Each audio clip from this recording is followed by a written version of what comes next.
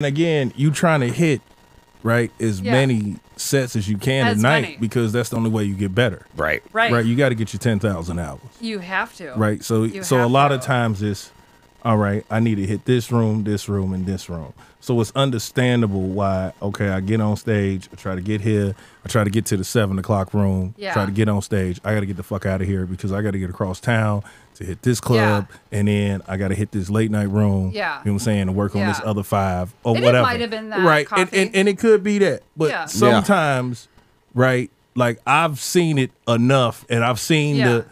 the enough people that do it, right? Yeah. And they wonder Yeah. why they're Right. having problems getting booked on showcases or getting booked on shows. Right. And it is because, Yeah. you know, we're abstract. A lot of us are neurotic. We don't have people skills. Right? We That get on true. stage, we do our shit, we get off, and then we become whatever the fuck we become when we get off stage.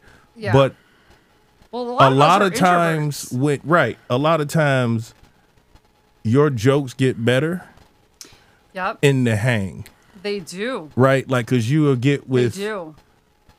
somebody that was paying attention and was like oh man you know this joke would be Yeah. better if you used this word and you could take the Right. suggestion or not but a lot of times it gets better with this word or within the hang It does. you'll Yeah. you'll come across a concept and you'll be like, oh shit, that's Yeah. actually a Yeah. great bit. That's a great Yeah. joke. The camaraderie, you build it.